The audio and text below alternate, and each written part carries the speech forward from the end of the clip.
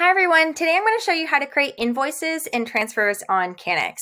I'm going to be showing you from the Canix California Sandbox. So this is going to be a California account, but the flow is generally applicable for every state. If you're in a different state, you might notice a difference in the package tag format or some of the tax regulations, but overall it's the same. Okay, so the first thing that you need to know is that there are two main ways of creating invoices in Canix. The first way, you can start from active sales orders and you can say create and you can find a customer in here and you find your products in here first. So if you're adding bulk onto a sales order, you can find all your products that say bulk and you can find and add them to your order on here. Let's find some uh, products on here. And then only after adding these items do you add packages to your sales order. So that's the first way. The second way, you can start from your active packages screen and you select the individual packages that you're looking to add specifically. And then you can say actions, create sales order. And this will automatically add the specific packages that you're looking to add onto your sales order onto your sales order. So then the question then becomes when do you use each type of invoicing? And the answer is very simple. You should anytime that you know specifically what packages you want to sell to a customer, you should start from the active packages screen and you could select you should select those packages first. You should be using the create sales order um, from the active sales orders screen function if you do not know what packages are going to your customer. So some examples of that might be pre-orders where you haven't created those packages yet, but you want to reserve that inventory for your customer or if you're selling from a bulk stash and you haven't yet created the specific individual packages that are going to your customer. No way is right or wrong. It's really just a matter of whatever is fastest for you. In this video, I'll be showing you how to do both. And I will start with the first method that I mentioned, starting on sales orders and active, and then saying create order. Great. Okay, so first step, we want to find a customer. So this is pulling from your list of current customers. If you want to add a new customer in here, you can say create a new customer and you can search our list of facilities on here and you can create a customer that you want to sell to. Then you'd add the products that you want to sell onto this invoice. So let's say that we're selling some bulk on here. So I'm going to just search some bulk products on here. And I'm going to remove this one. Great. Okay, so you might notice that these two products have the price per quantity filled in. And that's because we saved the last price that you sold your product at. Um, this is not prescriptive, so if you want to sell at a different price this time, you can always change this in here. You might also notice that these two products got added with different unit weights. So we will pre-fill this unit of measurement with whatever this item is defined as. So if you've created an item that's defined as a gram item, then we'll pre-fill this in grams.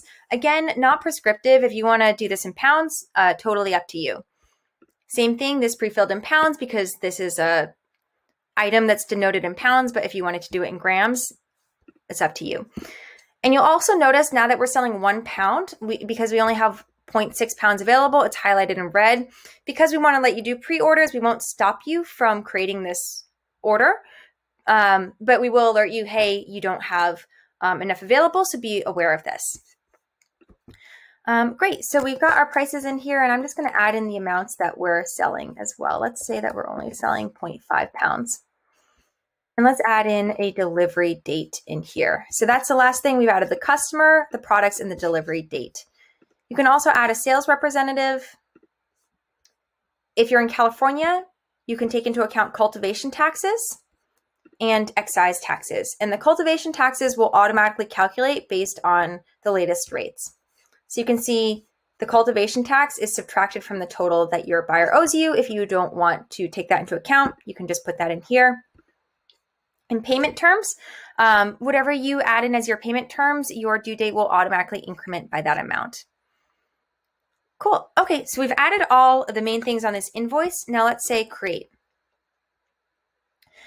Now, the next step is that we're going to need to add specific packages onto this invoice. We have added the general item types, but we haven't added the packages that are going to this customer. You can say add packages in here. And here you might notice, so I have a package of 66 pounds, but I'm only selling 10 pounds to my customer. So in that case, you would go split package, and you can see that we've done a couple of things here. We've automatically filled in this new package tag for you with the item that you're selling, the total weight of that item, and the pounds of that package. Um, the start tag is automatically pre-filled in here too, along with the package date. So to submit this, you just hit submit and it automatically creates that um, new package for you. For now, well, let's just add on this package so we can see what it looks like. Cool. So I'm now going to add a package onto this section as well. So we can see that we've added packages onto these two items. And that was pretty simple. It's pretty simple to split when you only have two items, but a lot of our customers have invoices with like 40 plus items on them. And splitting each individual package can get pretty tedious. So we added a shortcut in here to allow you to split multiple packages at once. I'm going to remove these packages and I'm going to save this invoice to show you how this works. You'll see these three dots in here and you'll see auto allocate packages. You can click on this and this will automatically split the packages by what, um, this will automatically create the packages by the amounts that you've defined in here um, to match the new packages that you're looking for. We're going to pull from the last package that you have in your inventory. So um, the the only reason that you should not use this function is if you have a specific package that you're looking to pull from. So we can see here, after we hit auto allocate packages, a couple of things happened. We have the new packages defined in here. So whereas before it just said the package number, now it says 1588 new. And that's because this is a new package that the system has created for you. And same thing with this. Um, you can also see this new package on here. Don't worry, we're not just going to automatically create packages for you um, without you kind of approving them. So you'll see in here this warning symbol and it'll say review new packages. So in here, you'll see the new packages that you've just created and the packages that you've created from. And to actually submit those, you'll hit submit new packages. So there really shouldn't be a time that you are not using auto allocate packages unless you are pulling from a very specific package and you know exactly what package you want to pull from um, and you don't want it to be the first created package in your inventory. But this is a big time saver, so we highly recommend it. Um, great, so now we've got our packages on our order. So now we can actually create this invoice. So we're going to say create invoice on here. You can add a facility logo on here.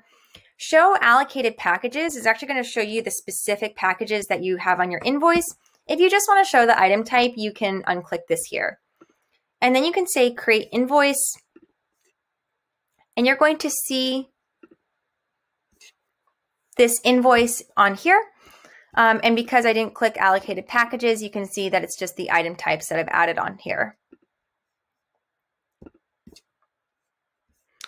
You can download the invoice. You can also send it via email or copy a link and share this link with your customer.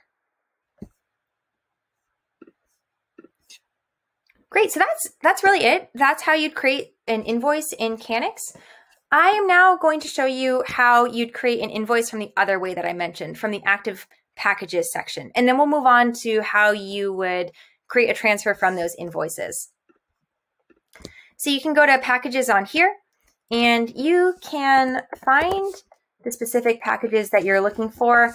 I'm going to search for a couple of tags that I have in my inventory.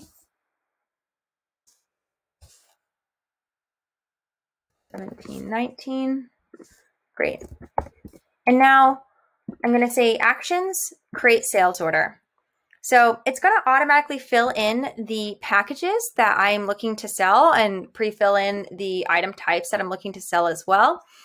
And you can find your customer in here and add this in here as well. Same thing with your delivery date. So really no change in how you create the order, just how you start. And now let's say create. Great. So in both ways, we've now shown how you'd actually create the sales order. Now I'm going to move on to how you'd create the transfer. And it's really simple. After you create the invoice, you're going to see these options at the bottom. Scroll down to the very bottom and hit create transfer.